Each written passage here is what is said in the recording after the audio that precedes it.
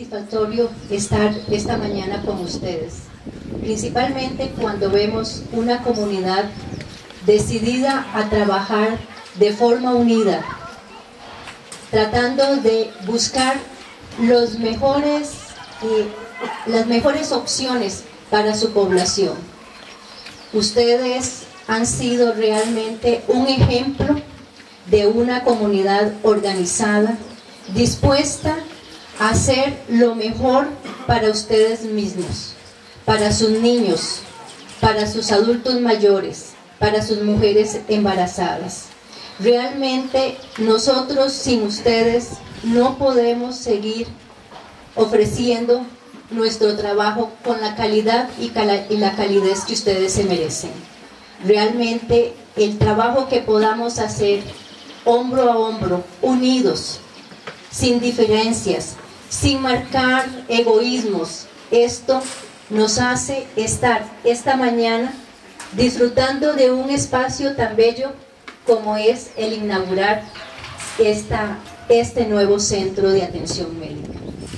Hoy realmente para mí y para todo el personal del área de salud de Levi's es, es un momento de alegría, eh, es un momento de aprendizaje, que tenemos que seguir trabajando muy unidos con nuestras comunidades, porque realmente solamente con ustedes podemos lograr que la salud de nuestros, de nuestros pueblos, de nuestras, de nuestras comunidades, de nuestra familia, sea cada día mejor.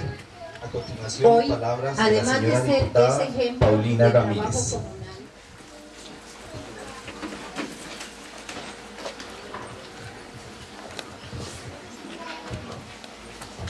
Muy buenas tardes a todos y todas. Un especial saludo a los señores diputados que nos hemos estado en gira desde tempranas horas. Eh, Catalina Cuegui, vicealcaldesa. Sonia Aguilar, presidenta municipal. Martín Montenegro, síndico de Santa Rosa. Sonia Chaverri, directora de área. Eliezer Monje, cura párroco, invitados e invitadas especiales.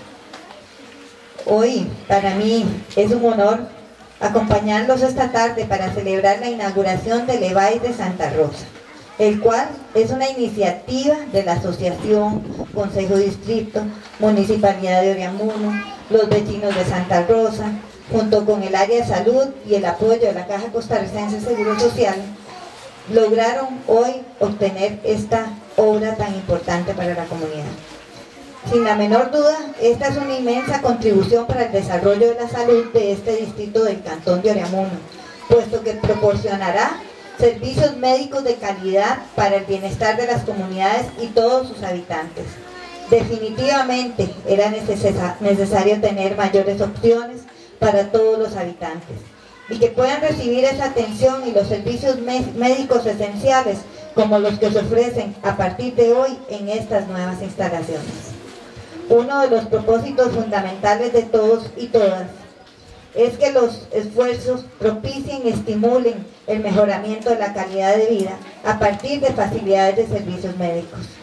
Institucionalmente se han realizado todos los esfuerzos necesarios para dotar a esta comunidad de nuevas y mejores facilidades, infraestructura urbana y servicios de calidad, los cuales quedan completamente recompensados con la satisfacción de ver los sueños cumplidos y hechos realidad por esta A continuación, palabras del señor diputado Mario Redondo.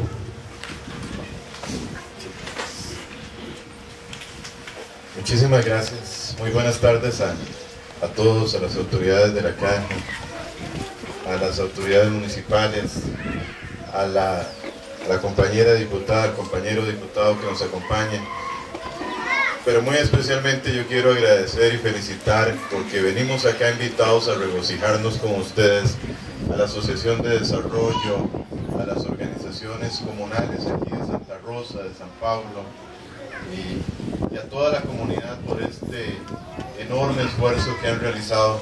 Eh, me parece que esto nos demuestra algo muy importante, que cuando se puede unir comunidad, organizaciones públicas tan importantes como la Caja, Municipalidad, y diferentes grupos comunales y podemos lograr cosas importantes para la gente. Siempre se aprende algo. Hoy escuché por primera vez el himno de la caja. Está muy bonito. Está muy bonito también. Me, me agradó, me parece que es importante. Y, y yo quiero tal vez muy brevemente recalcar algunas cosas. Una, la importancia de la unión entre todos los que formamos en este país. Porque como lo decía la doctora, doña Sonia, un día uno puede estar en la municipalidad, puede estar en la asamblea, puede estar en el gobierno, puede estar en una institución o puede estar en una organización comunal. Todos somos transitorios en esta vida. En un puesto público o incluso en la vida todos somos transitorios. Un día estamos, otro día no estamos. Lo importante es lo que se pueda hacer y lo que se pueda dejar en beneficio de otras personas. Y me parece, yo quiero felicitarlos a ustedes eh, por este esfuerzo, porque esto es dejar huella. Esto es dejar una obra en beneficio de personas que van a lograr una, una mejor atención en su salud, lo cual es algo demasiado importante. Y la unión entonces es fundamental. Dos, que esto no sea eh, para conformarnos. Yo estoy absolutamente seguro que la comunidad de Santa Rosa quiere y merece muchísimo más de lo que hasta ahora está consiguiendo. Que tenemos que tratar de luchar porque esto se convierta en un EVAIS completo en un momento con todas las condiciones, ojalá.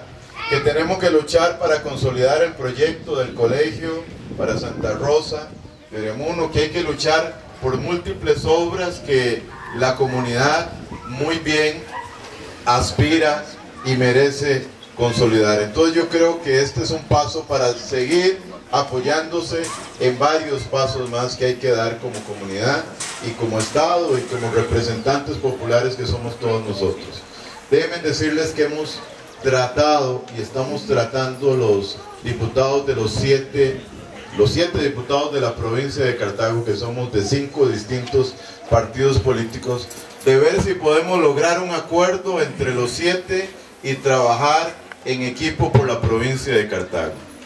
Y ver si dejamos de lado la bandera de los partidos políticos y anteponemos acá lo más importante que es ver cómo le ayudamos a las comunidades, cómo ponemos a las comunidades de primero, cómo le ayudamos a la gente. Eh, ese es algo que yo espero que se pueda consolidar en una comisión legislativa que pueda permitirnos trabajar en conjunto a la par de ustedes por más desarrollo para Cartago. Y un último punto que yo quiero mencionar y tiene que ver con la Caja Costarricense del Seguro Social. Esa es una institución que como ya se dijo acá, es una institución ejemplo a nivel mundial. Hay muchísimos países en el mundo que quisieran tener lo que nosotros hemos logrado consolidar a lo largo de muchos años. Esa caja lamentablemente enfrentó y arrastra todavía señales de una crisis hace pocos años. Y es algo que todos debemos de cuidar, porque la caja le ha permitido a Costa Rica de tener condiciones e índices de salud que son ejemplo a nivel latinoamericano y a nivel mundial. La esperanza de vida de los costarricenses es de un país de primer mundo.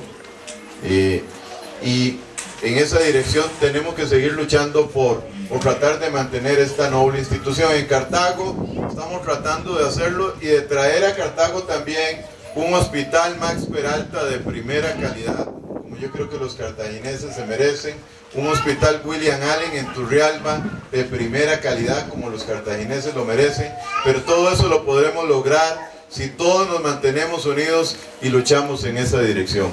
De ahí que eh, regocijarme con todos ustedes por la inauguración de esta obra, felicitarlos por el esfuerzo comunal e institucional de las diferentes autoridades involucradas acá e instarlos a seguir adelante en muchas luchas y en muchas causas que requieren también de la buena voluntad y del esfuerzo de todos nosotros y de todos los que aquí estamos y de muchos más que tenemos que integrar en estas causas.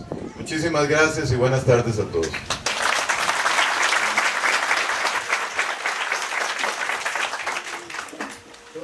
A continuación, palabras del señor diputado Marco Raíz del 2008. Cuando empezamos a trabajar, en aquel momento hablábamos de un proyecto que era un poco diferente, pero de verdad que nadie sabe para quién trabaja. Lo importante es que cuando se tiene el deseo de trabajar, al final el que sale beneficiado es el pueblo y la comunidad.